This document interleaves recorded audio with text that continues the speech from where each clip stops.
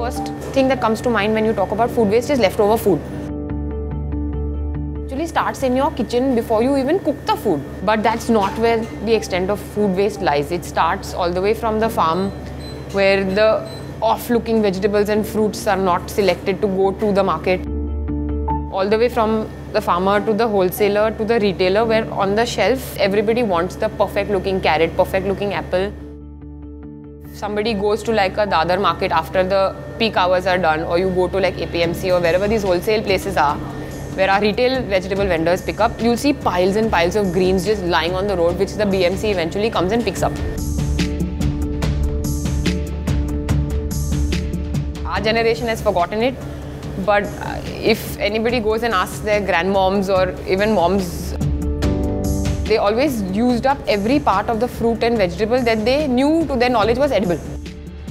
If they are making uh, something with dudhi, the dudhi ka chilka would be used to make kofta. In the south, they make a lovely chutney out of orange peel and lemon peel with coconut and urad dal and chana dal and stuff like that. I wanted to come up with recipes that people want to make. They want to save the scraps and make and not because they want to just ठिकाने लगाओ कि हाँ चलो I have to be environmentally conscious छिलका है चटनी बना दो and yeah that's how I started doing research when I peeled my carrot I am like okay I have so much carrot skin what do I do with it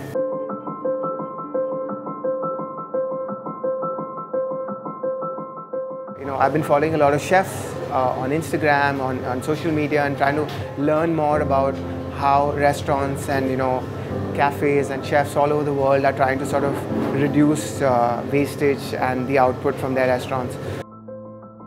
And that's when I sort of uh, started following uh, Arena on uh, Instagram, trying to see what she does. We happened to just connect. The food waste aspect of was something that Sumit was very interested in.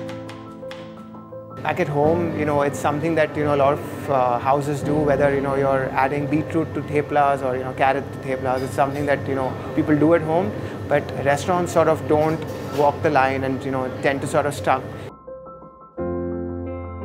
I came and spent uh, some shifts here at the beverage counter and in the kitchen in general to see when they're doing their prep for the day, what all was being used and what was ending up in the dustbin.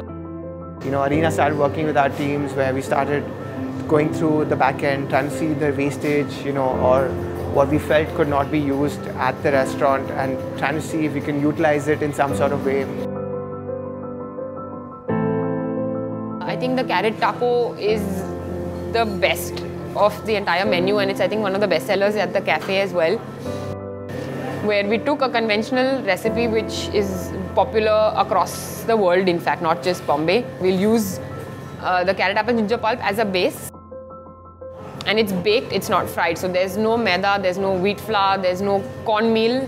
It's just the fiber of the vegetables and the apple. We do a detox tea here on the menu again, which has been a very uh, successful beverage on the menu. Pomegranate peels have so much nutrition in it, but unfortunately, because of the texture, it's not something that you can actually chew or eat. Same thing with the orange. All the vitamin C and the essential oils are in the peel. So we uh, dehydrate those, and that becomes the main uh, base for our detox tea.